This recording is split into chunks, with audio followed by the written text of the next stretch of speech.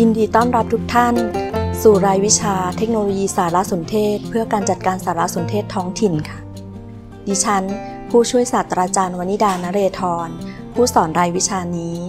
และทีมอาจารย์อีกหนึ่งท่าน อาจารย์มัติกาชัยมีแรงพันดี เราทั้งสองคนจะนำท่านไปเรียนรู้ และศึกษากระบวนการจัดการสารสนเทศท้องถิ่น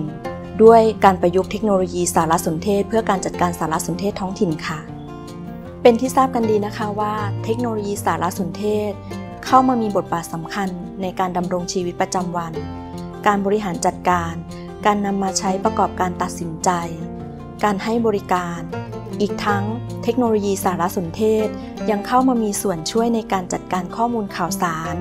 ให้ดำเนินงานด้านอย่างมีประสิทธิภาพ รายวิชาเทคโนโลยีสารสนเทศ เพื่อการจัดการสารสนเทศท้องถิ่น มีวัตถุประสงค์เพื่อ 1. สามารถบอกแนวคิดสารสนเทศท้องถิ่นได้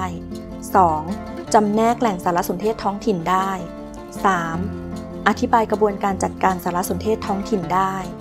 4. อธิบายการประยุกต์เทคโนโลยีสารสนเทศ เพื่อการจัดการสารสนเทศท้องถิ่นได้ และ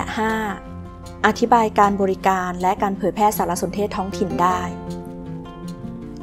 รายวิชานี้แบ่งเนื้อหาการเรียนรู้ออกเป็น 5 บท คือ บทที่ 1 แนวคิดสารสนเทศท้องถิ่น ท่านจะได้เรียนรู้เกี่ยวกับ ความหมาย ความสำคัญ ลักษณะ และประเภทของสารสนเทศท้องถิ่น บทที่ 2 มาทำความรู้จักแหล่งสารสนเทศท้องถิ่นกันดีกว่า ท่านจะได้เรียนรู้เกี่ยวกับ แนวคิดเกี่ยวกับแหล่งสารสนเทศท้องถิ่น แหล่งสารสนเทศท้องถิ่นประเภทของแหล่งสารสนเทศท้องถิ่น และกรณีศึกษาแหล่งสารสนเทศท้องถิ่น บทที่ 3 กระบวนการจัดการสารสนเทศท้องถิ่น ท่านจะได้เรียนรู้เกี่ยวกับ แนวคิดการจัดการสารสนเทศท้องถิ่น วงจรการจัดการสารสนเทศท้องถิ่น กระบวนการจัดการสารสนเทศท้องถิ่น รวมถึง การจัดการสารสนเทศท้องถิ่นภาคสนาม บทที่ 4 การใช้เทคโนโลยีสารสนเทศ เพื่อการจัดการสารสนเทศท้องถิ่น ท่านจะได้เรียนรู้เกี่ยวกับ แนวคิดเทคโนโลยีสารสนเทศ เพื่อการจัดการสารสนเทศท้องถิ่น กรณีศึกษา การประยุกต์เทคโนโลยีสารสนเทศ เพื่อการจัดการสารสนเทศท้องถิ่น หลักการและองค์ประกอบของเทคโนโลยีภูมิสารสนเทศ ตัวอย่างการประยุกต์เทคโนโลยีภูมิสารสนเทศ เพื่อการจัดการสารสนเทศท้องถิ่น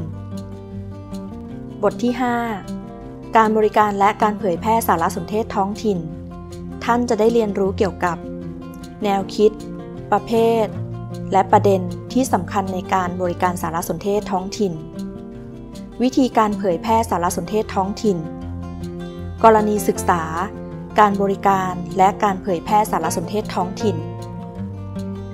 แต่ละบทเรียนจะมีกิจกรรมท้ายบทสนุกๆเพื่อให้ทุกท่านได้เรียนรู้ โดยทุกท่าน